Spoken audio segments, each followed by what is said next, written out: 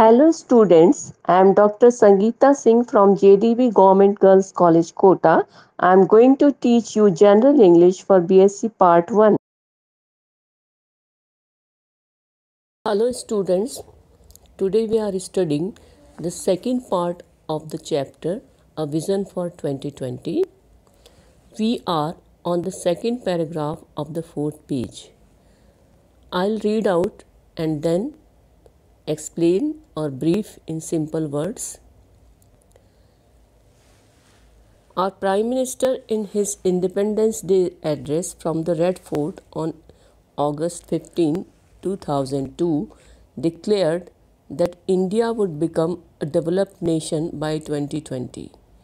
India has entered the 10th five year plan with a focus on all round development. The 10th plan is very vital period as it has to lay the foundation for this journey of transformation by initiating mission projects that will bring economic strength to the nation. In order to realize a developed India by 2020, five key areas have been identified for integrated action. Now I am explaining this to you in simple words. Dr. Abdul Kalam further tells us that our Prime Minister had declared on 15th August 2002 that India will become a developed nation by 2020. At that time, India had entered the 10th plan. This period is very important for economic growth. For this target, five key areas are to be exploited well. Now, the next paragraph agriculture and food processing with a target of 360 million tons of food and agricultural products in a year. Other areas of agriculture and agro food processing will bring food security and prosperity to rural people and speed up economic growth. The five, five key areas uh, the first is agriculture and food processing. This will not only speed up the economic growth but will also lift up the rural people's life. Next lines Education and healthcare aimed at increasing the employment potential leading to social security and population control. Infrastructure development including reliable and quality electric power for all parts of the country which is vital for all core sectors. Information and communication technology this is one of our core competencies promoting education in remote areas and creating massive employment and national wealth through export earnings. Critical technologies and strategic industries, the progress in nuclear, space, and defense technologies will provide sustained growth and self reliance for the nation. Now, the explanation part.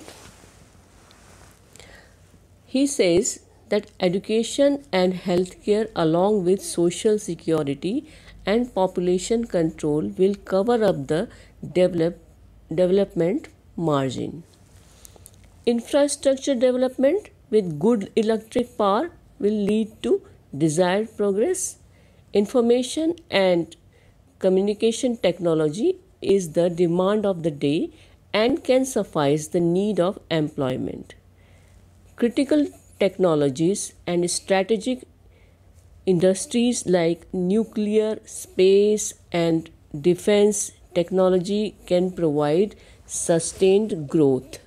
Last two lines of the page these five areas are closely interrelated and will lead to national food and economic security. A strong partnership among the R&D.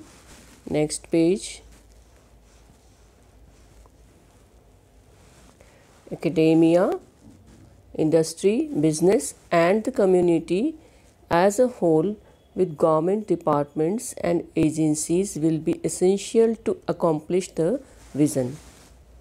Apart from the plan to network the major rivers, a scheme called Providing Urban Amenities in Rural Areas PURA can help create rural wealth and prosperity.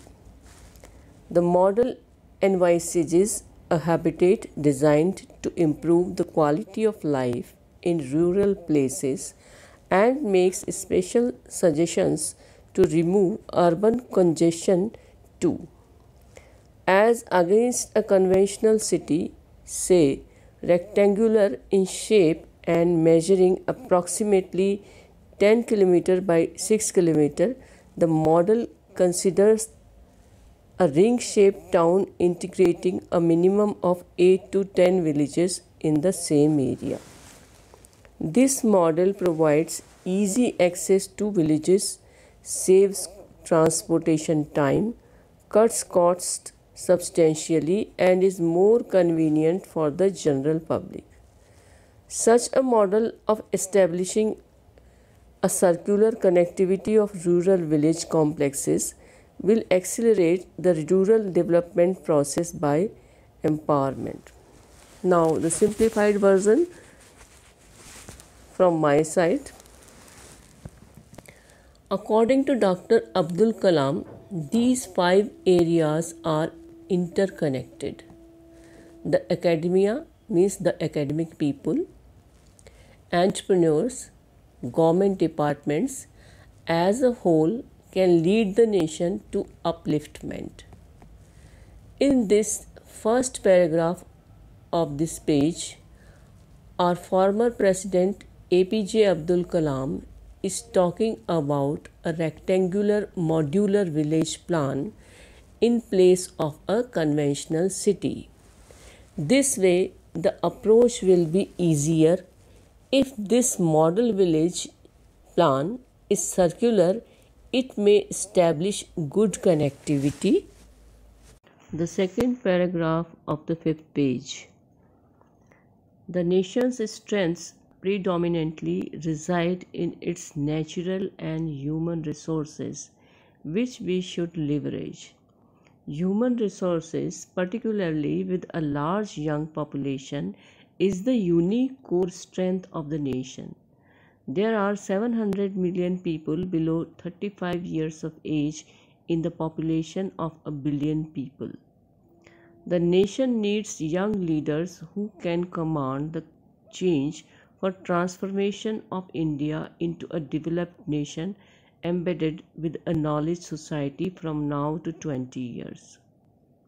Quality leaders are like magnets that will attract the best persons to build a team for the organization and give inspiring leadership even during failure of missions as they are not afraid of risks the creation of vision ignite the young minds in particular. Now I am briefing these lines to you. The natural and human resources of our country are tremendous in quality and quantity. Extraordinary youth and leadership can attract the followers to form a team for national growth last few lines of the fifth page. What are the qualities of such a creative leader? He or she exercises changes in the traditional role from commander to coach, from manager to mentor, from director to delegator, and from one who demands respect to one who facilitates self respect. The higher the proportion of creative leaders in a nation, the higher the potential of success of visions like developed India. So, in this paragraph, Dr. Abdul APJ Abdul Kalam says that the qualities of the leadership or the qualities of the leaders depend on various innovative roles. The ignited minds are charged with creativity. In nutshell, we can say that the ignited minds are charged with creativity. Last lines with the vision and characteristics of a creative leader defined, what can be the tasks of various people? The student community can remove the illiteracy of a certain number of people in their last page we are going to the last page now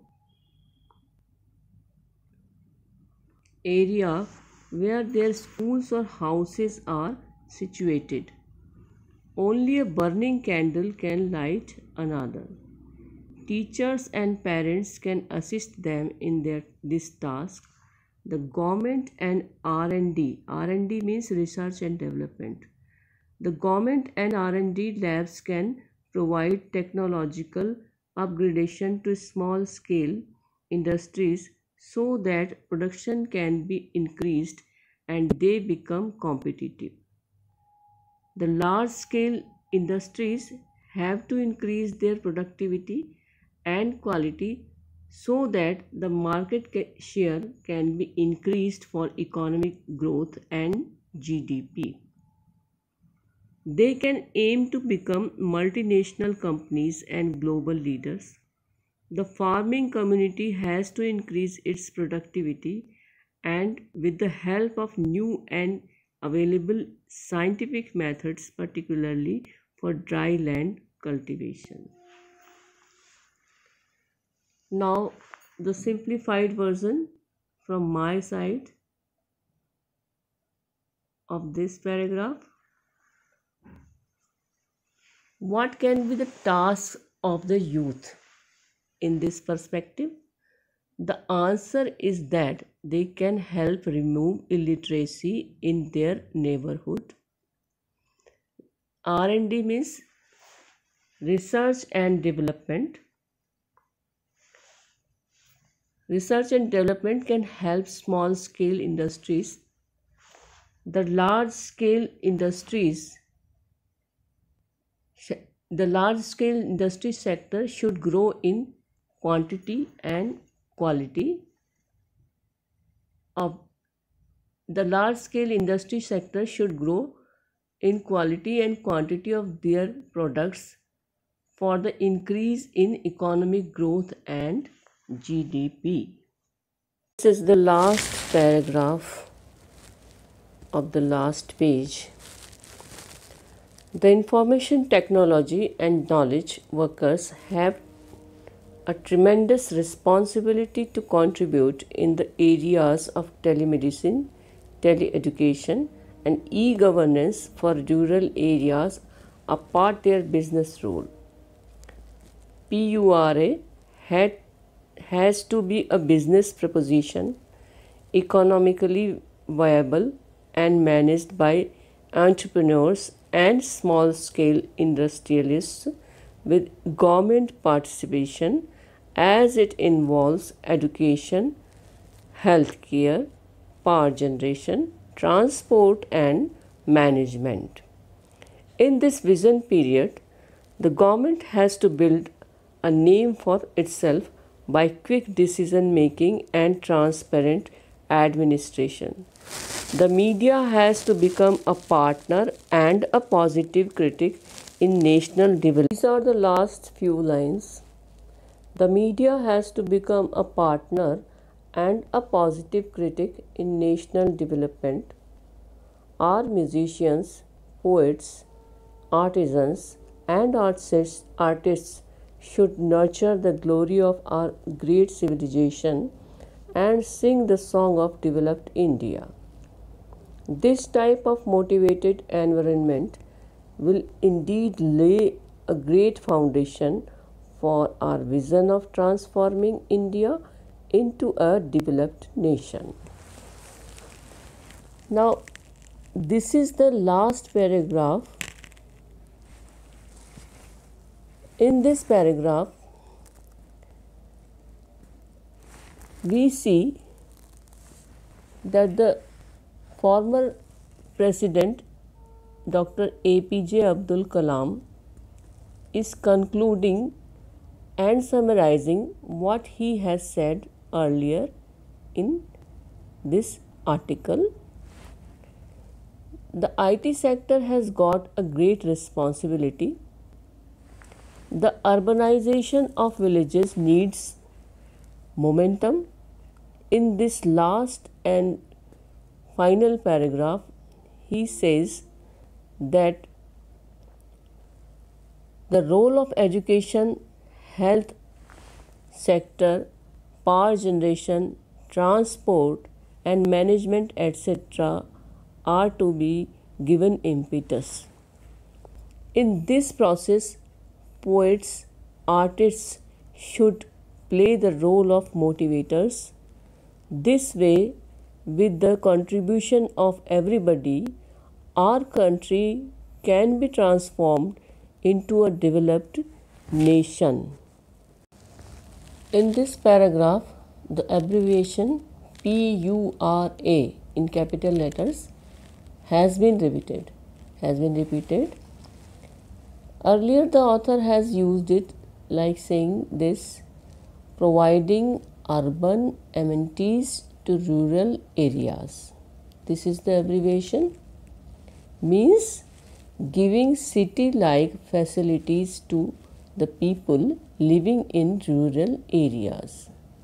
In other words, we can say a bit of modern infrastructure added to villages. Thanks for watching the video. We will be meeting soon for the next one.